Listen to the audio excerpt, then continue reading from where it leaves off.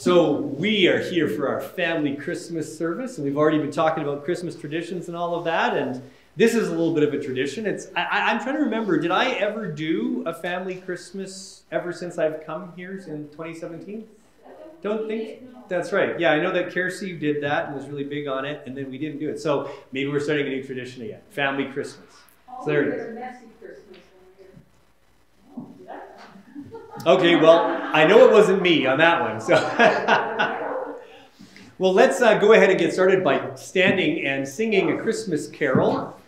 We're going to sing "What Child Is This." Okay, guys. Actually, we're going to use the words up here. So come on over here so you can see the screen. Okay. We'll sing it together. What child is this who laid to rest? on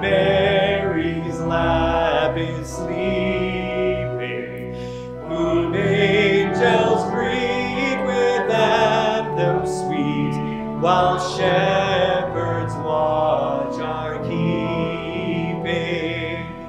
This, this is Christ the King, whom shepherds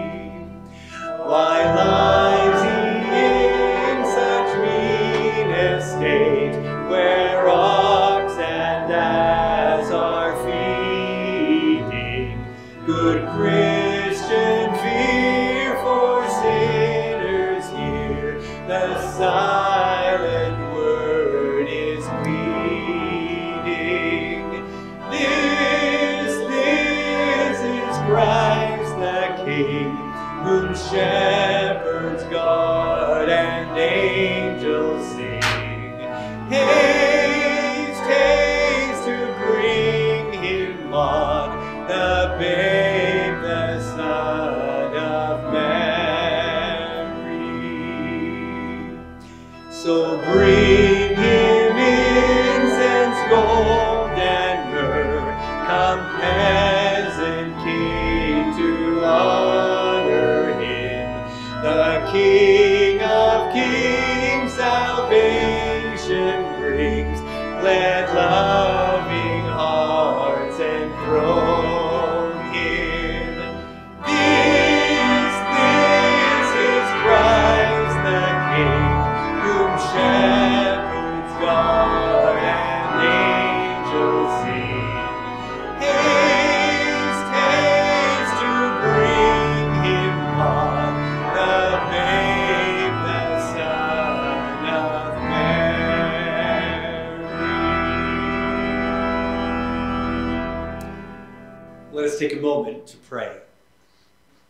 Gracious God, we thank you for your love for us and how you showed your love for us by sending Jesus. And on this Christmas Eve, as we celebrate the Christmas story and think about Jesus being born, may we have hearts that look forward to not only learning the story more, but embracing all that it means your love for us, which never ends. Amen. Amen. All right, well, please be seated. Because now it is time to finish our tradition of lighting the Advent wreath, and in particular, the Christ candle in the middle. And so I'm going to ask some of you guys to come and help me with this.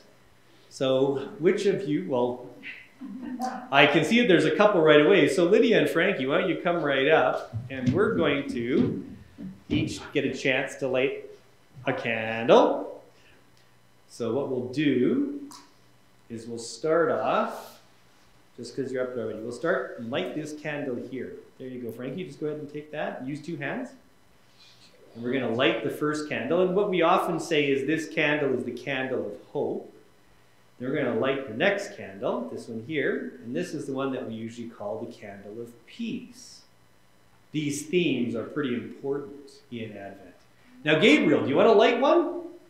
Why don't you come on up and light a candle, Gabe? Come on, Gabriel. Thank you. Good eye. So, Gabriel, we'll have you light this pink candle here. This is the candle of joy. So, if you want to take that, with two hands, and can you reach up here and light this candle here? There we go. Okay, let's do this going good. Oh, you got it. Good job. There, the candle of joy. Excellent. Thank you. Gloria, do you want to light a candle? Yeah. Let's see if we can help you out here a little bit. So we'll have you hold that with both hands. Okay? And we'll get you up here, and you're going to light the candle of love, okay? There we go. Oh, just a sec there. Okay, good. Thank you, Gloria. So now we have those four candles lit. Alex, you want to come and light the Christ candle? He hasn't lit candle yet, so that's good. So now the Christ candle only gets lit on Christmas. Whoops, got to move this forward a bit. And it only gets lit on this day. Represents Jesus. So, maybe if you get a little bit further behind the candle. There we are. Excellent. Thank you, guys. So there we have our Advent wreath, which is now complete. And one of the neat things about the Advent wreath is as we light one candle at a time, you get a little bit more light coming in all the time. And so now it's really quite bright. And we're ready for Christmas. All right, Gloria, we're going to sing another song. You ready for that? So let's go and let's sing a song that's really familiar to us about baby Jesus. And that is the song Away in a Manger. So let's stand up again and we'll sing this song, and then we'll get into the Christmas story itself.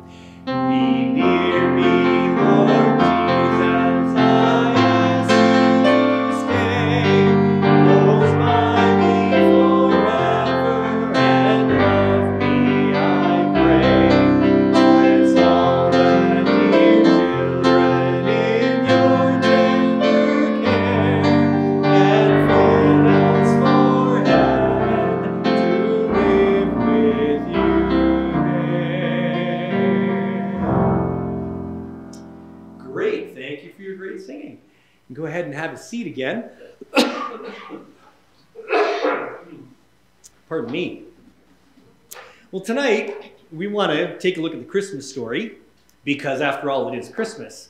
And one of the reasons why it's good to take a look at the Christmas story is sometimes we can be so familiar with parts of it, we don't understand all of it. And so today, what we want to do is make that happen. Now, to be honest, it's kind of interesting. There are four books in the Bible about Jesus. They are called the four Gospels Matthew, Mark, Luke, and John. And they are actually represented sometimes by these symbols. The eagle represents John. The angel or the Son of Man represents Matthew. The lion represents Mark. And the ox represents Luke. Well, out of the four Gospels, only two of them talk about the Christmas story. One of them is Matthew and one of them is Luke. And uh, if you just read Matthew and just read Luke, what you find out is they actually are kind of two different stories. The way that they write them Matthew and Luke didn't get together to talk about it. So it's kind of interesting. What we're going to do today is try to mush the two stories together. And let me just be honest, it isn't a perfect fit. But it gives us something that we can see so that we hear what Matthew is saying and what Luke is saying at the same time to understand the story of Jesus' birth. But how we're going to do that is by making sure that you understand where it all happens because this all happened in a particular place. It happened in a place called Israel, which is over in the Middle East. And so we're going to map out where this is. We're going to start, first of all, with the capital city of Israel, which is Jerusalem. So, Jerusalem is right here. Okay, that's what we're going to remember the city of Jerusalem. Now, another important city is the city of Nazareth. And Nazareth was way up in the north from Jerusalem, so it's over here. We'll talk about that city when we get closer. Then, does anybody know the name of this city? Bethlehem, right? Sorry, I should have let you say it, Alex. What's important about Bethlehem? Right. And so where Bethlehem is, it's about eight kilometers southwest of Jerusalem. So right here, there's Bethlehem. So we know that city's going to come up. But we're going to talk about all these places. Now I have another city here, and, and, and the Bible doesn't give us the name of this city, but to kind of help us get the idea, I've decided to call it the name. This is the capital of Iraq, Baghdad. And it's over in the east. So we're just going to go ahead and put it here, just to represent where the east is. And then we have one last place, and I'm not even giving a city name, just talking about Egypt.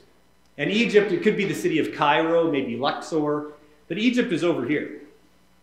So we're just going to leave those places there because all of these places factor into the Christmas story. So, how the Christmas story starts is we have this young woman, probably just a teenage girl named Mary, and she lives in Nazareth. And she's engaged to be a man to a man named Joseph. So Joseph and Mary both live in Nazareth and they're going to get married. Joseph is a builder. We often say he's a carpenter, but the reality is there wasn't a whole lot of wood over there. They would build things with stone and brick and stuff. And so, kind of the same thing as what a carpenter does. He builds houses and things like that. That's what he does for a living. And so, he and Mary are going to get married, but they aren't married yet. And Mary is doing her thing, just kind of doing whatever she does. Maybe she's reading a book, maybe she's writing a letter, who knows what she's doing. But she's doing something, and then all of a sudden, bam, this angel appears out of nowhere. And she's totally freaked out, but the angel says, Greetings, favored one, the Lord is with you. And Mary says, And also with you. And then Gabriel says, I know, because I come from God. My name is Gabriel. I'm an angel, and I'm here to tell you that you have found favor with God. And in fact, what's going to happen is you are going to be pregnant with a baby, and when that baby's born, he is going to be the Savior of the world. And you're going to call him Jesus. And Mary goes, Okay, I get what you're saying, but I don't know how this is supposed to happen because I'm not pregnant and I haven't done anything to get pregnant and I'm not even married yet or anything. Like, uh, how is this supposed to happen? And the angel says, Don't worry, God's got it under control. The Holy Spirit will come upon you. The power of God will overshadow you, and you will become pregnant. And as a result, when your baby is born, he's going to be known as the Son of God. So, what do you think of that? And Mary goes, All right, if that's what God wants to do with me, okay. And so the angel leaves her, and Mary decides, okay, I guess I got to think about this now. And I have no idea how Joseph's going to take this.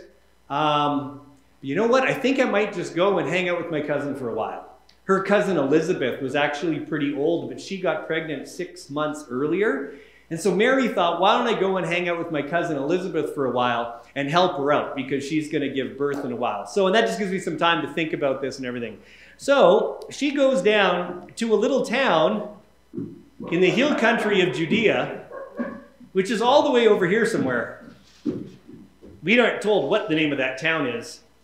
But Mary goes all the way down there. It's about three days to walk all the way down there to go and visit with her cousin Elizabeth. And when she goes in to greet Elizabeth, Elizabeth says, this is amazing. Why am I so favored to have the mother of my Lord come here? As soon as you came in, the baby in me leapt for joy. And Mary must have been really encouraged when she heard that because she's not sure who would believe her story. But the moment she sees Elizabeth, Elizabeth says, I know exactly what's happened. This is awesome. This is great. And Mary ends up singing this lovely song My soul magnifies the Lord, and this, my spirit rejoices in God, my Savior. And she goes on to talk about all the great things that are going to happen because when Jesus is born, things are going to change. So Mary spends three months with Elizabeth, helping her out, and then Elizabeth's baby is born. His name is John, and he becomes John the Baptizer, but we don't worry about him until Jesus becomes an adult. But that's what ends up happening there. So now it's time to go back home. And Mary, now, after three months, decides, well, I guess I better go back. I got to tell Joseph what's going on. So she makes her way all the way back to Nazareth. She comes and talks to John or Joseph, and Joseph sees her. It's like, great to see you again, Mary. You've been gone for a few months. She said, yeah, I was helping out Elizabeth, and you know she's had her baby now and stuff. And and Joseph says to Mary, "You've been putting on weight." And she says, Well, yes, but no. because now she's three months pregnant, you can start to see that something's going on. And so Mary says, Look, Joseph, this is the way it is. And he te- she tells him the story about the angel, what the angel said, and what Elizabeth said, and all of that. And so that's what's going on, Joseph. I am pregnant, and I know it wasn't you, and it's nobody else. It's just God, and I'm going to be giving birth to the Savior of the world. And Joseph goes, I got to think about this for a while. And so he goes off to his place, and Mary goes to her place. And Joseph is thinking and pondering and going, okay, I don't know, like, I don't know what Mary got into, but I'm not sure what I can do about this. And I know we're supposed to get married, but I don't think I can go through with this. So, you know what? I'm just going to, I'm going to have to sleep on it, but I think what I'm to have to do is just figure out a way to just break it off with Mary and, and keep it kind of quiet for her sake. So that's what he decides to do. So he goes to bed, probably takes him a little while to get to sleep, but he finally gets to sleep, and then he has a dream. And you know what happens in his dream? Bam! This angel shows up. And we don't know if it's the same angel that went to visit Mary. Uh, we, we aren't told it's Gabriel, but probably was the same angel. And this angel, in this dream, says to Joseph, Joseph, don't be afraid to take Mary as your wife. She's telling the truth. It's real. What is in her, the baby in her, is conceived by the Holy Spirit. So she's going to give birth to a son, and you are to name him Jesus because he will save his people from their sins. So it's all good, Joseph. It's good. Make it happen. And the dream ends. And so now Joseph wakes up and he goes, Okay, wow. All right. I guess I guess I Mary was telling the truth. And it must have been a big decision for her to say yes to. It's an equally big decision for me to say yes to. Let's do this together. So he gets to see Mary, and she says to Mary, I believe you. I had a visit from the angel as well. I'm sorry I didn't believe you at first, but now I know. Let's do this. We're going to be a family. Let's get married. And so they get married. And then they are going to set up house in Nazareth because this is where they're living right now. And so they get a house. And for the next six months, they're living in their house. They got married and they're waiting for the baby to be born. And as they get to the ninth month of Mary's pregnancy, because you got to be pregnant for nine months before you have a baby, that's the way it normally works. This other guy shows up out of nowhere. This guy here.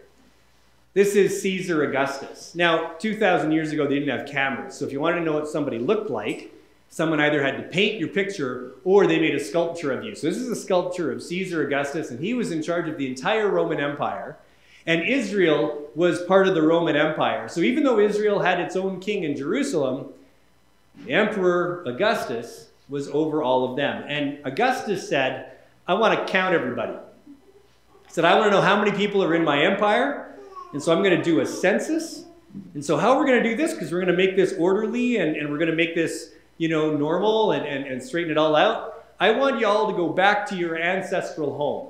And what he means by that is, I want you to go and be counted where your great, great, great, great, great grandpa lived. And Joseph and Mary hear this and they're going like, really? Joseph's great, great, great, great grandpa lived in Bethlehem a thousand years ago. How come we have to go to Bethlehem to be counted? But that's what the government says. You have to do what the government says. There could be debate about that. Anyway, um, so they have to go to Bethlehem. So now Mary is really pregnant and she doesn't know when she's going to have a baby, but now they get going and they start their journey. It's like three days. So they get going. Maybe they got about this far and decided to camp for the night. And they wake up and they got to go again. So they get going. Then they get this far. We're getting closer. Mary goes, I know, I did this six months ago. Then they get going a bit further. Maybe they get to Jerusalem and decide, you know what? Let's just visit the city for a while and just take in the sights or whatever. Maybe they took an extra day. Who knows?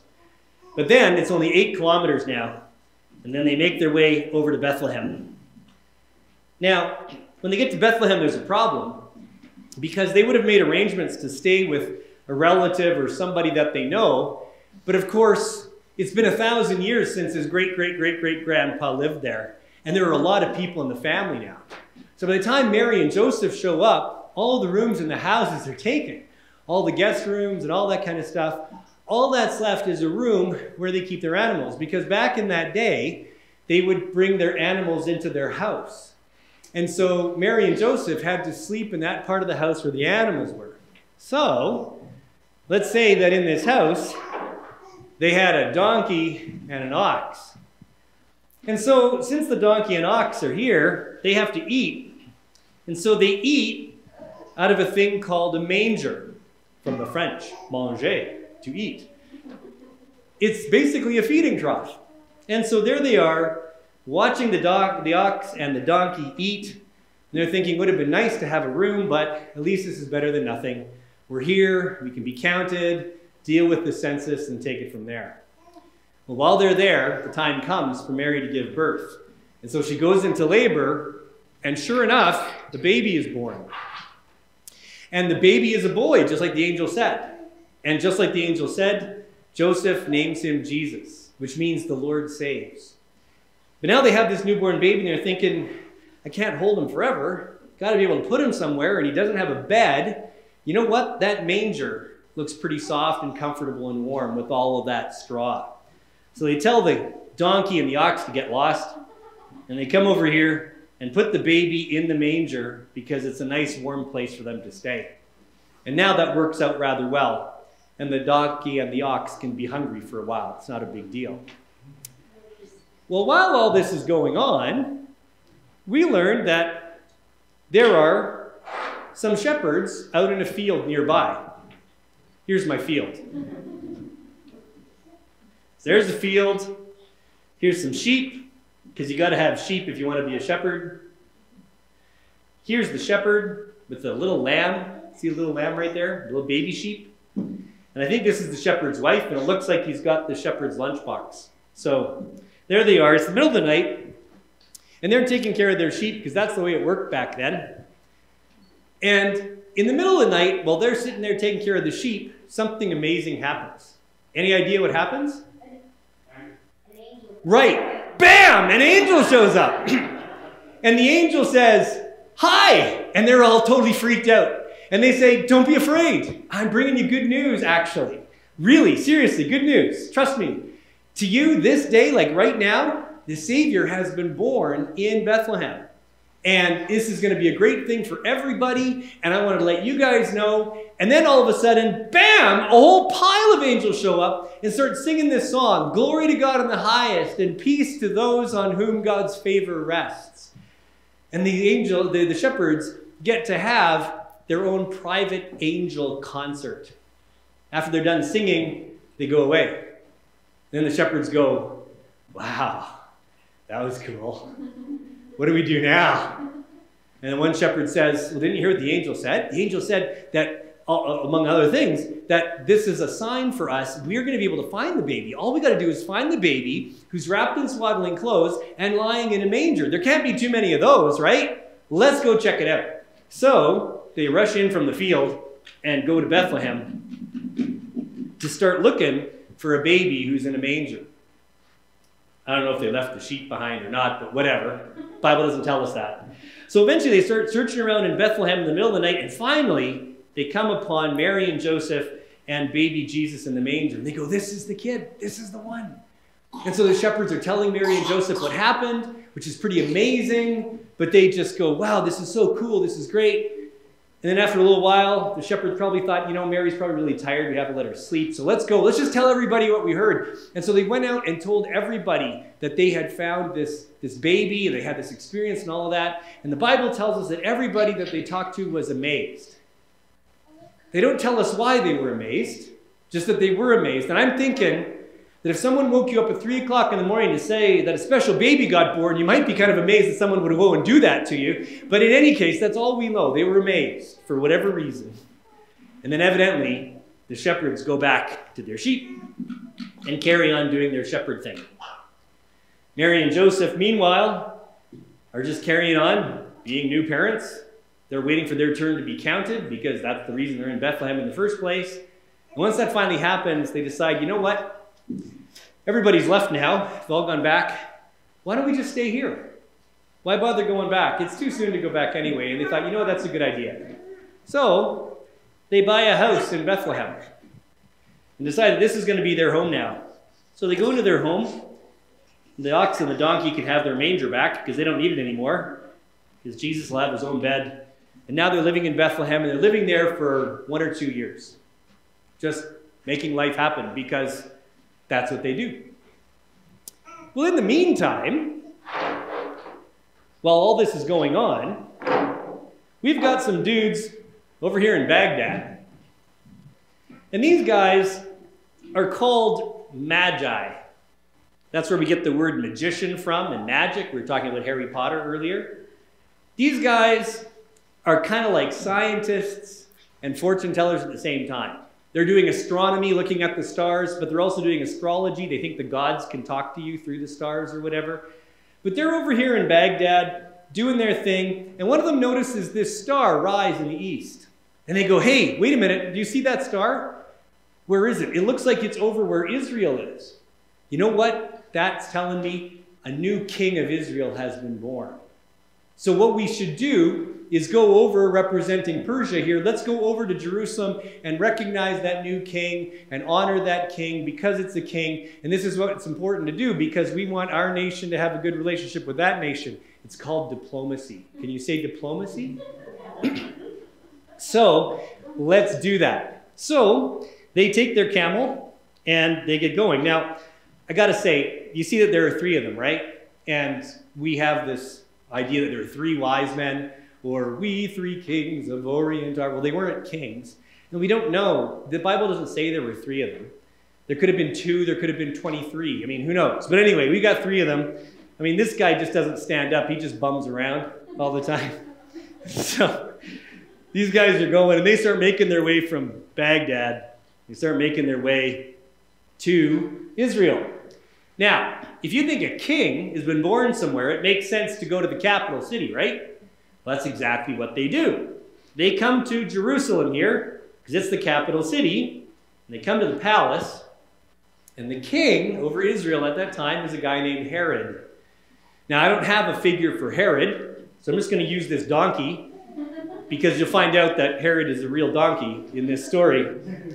So they're talking to King Herod, and they say, Greetings, O King Herod. We are here because we know that a new king of Israel has been born. We saw his star and we want to honor him. And Herod goes, Right. Okay. yeah, just a sec. Give me a second, guys. And he goes off and he calls his scribes and his other smart people and he says, I didn't hear about a king being born. Did you? And they're going, Nope. Okay, but the Bible says something about a king, right? A Messiah or something. Where's the Messiah supposed to be born? So let, give us a sec. We'll look it up. So they look up in the Bible they find in the prophet Micah that it says that he's supposed to be born in Bethlehem. And Herod goes, okay, thanks. So Herod comes back to the wise men and says to him, the baby has been born in Bethlehem. That's what our scriptures tell us. And he says, by the way, can you do me a favor? I'm really busy. I can't get there right now. But I would love to be able to honor the baby too. So if you would go to Bethlehem and, and find the baby, and once you do, go ahead and honor the honor the baby and all that kind of stuff. But then let me know where the baby is so that tomorrow I can come and, and worship the baby too. That isn't what Herod wanted to do. Herod actually was thinking if a new king is born, then he's not going to get to be king very long. So he actually wants to get rid of Jesus. It's kind of scary, but he actually wants to kill Jesus. And that's why he's asking the wise men to tell him where Jesus is. Well, the wise men have no idea about this. They just figure, okay, no problem, thanks. We'll head off to Bethlehem. So they go to Bethlehem and they look around and they finally get Jesus' address. I don't know how, but they did. And they come and they see Mary and Joseph and Jesus. And then, as you do when you're doing diplomacy, you give gifts to the new king. And so they give gold and frankincense and myrrh. And Mary and Joseph are amazed. I mean, the last time anything like this happened was almost a couple of years ago when the shepherds show up. But here, these rich guys from Baghdad come and they're giving them these really expensive gifts. So they say, Thank you. And the wise men say, No problem, that's what we do. And so we're honoring your new king. Well done, you. We're going to go back home now. And so they find a hotel and crash for the night. And they are warned that they ought not to go back the way they came because Herod actually wants to harm the child. So they decide, all right, we're not going to do that. And so they go back home to Baghdad a different way. So let's just say they go this way instead. And they go back home. Now Herod is back over here thinking, where did those guys go?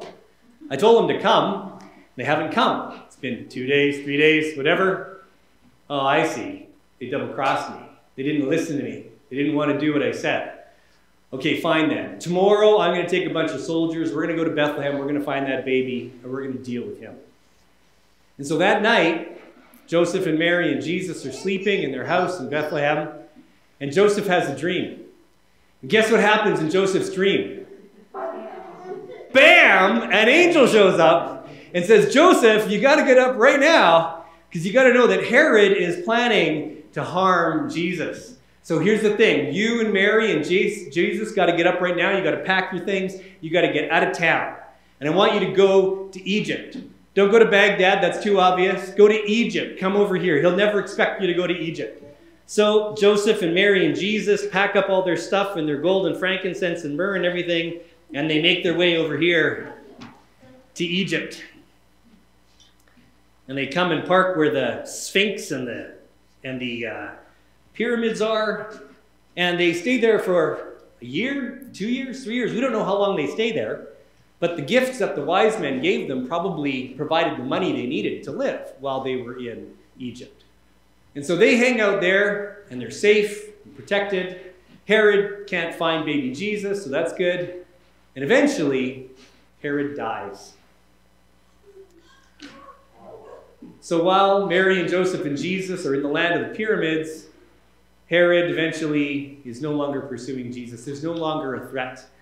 They're not having to worry about what he might do. And so, one night, Joseph is having his sleep again, and he has another dream. And guess what? Bam! An angel shows up and says, Joseph, I have good news. Herod has died. He's gone. There's no more threat to the baby, so you and Jesus and Mary can come back. And Joseph goes, Awesome. We're waiting to come back. This will be great. So they go and they pack up all their stuff again. I don't know how much of their gold and frankincense and myrrh was left, but they pack up all their things and they come back and they make their way towards Bethlehem. But then they get some interesting news. They discover that um, Herod's son Archelaus is now going to be the king. And they're thinking, really? Herod's son is now reigning? he's going to be exactly the kind of donkey Herod is. So I don't think I want to hang out anywhere close to Jerusalem. So they decide, you know what? Let's just keep on going. And so they bypass Bethlehem and they make their way all the way back up to Nazareth, where they started. They decide, okay, let's find our old home here and we'll set up our house and what's left of our presents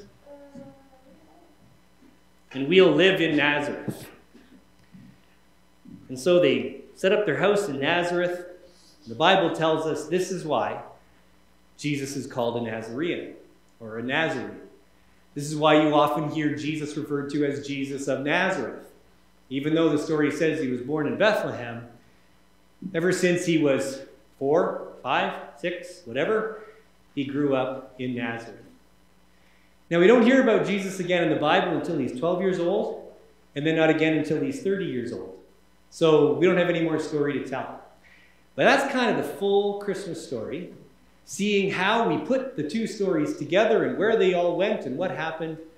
And now Jesus is in Nazareth, and we're ready to wait for the day that he gets to start his ministry. So, Any questions about the Christmas story? A lot of angel stuff going on in that story, hey? Well, thanks. Gabriel, you got a question? Looks like you might have a question. Get ready to raise your hand. No? Okay. Well, good. Well, there we go. I hope that was fun and informative.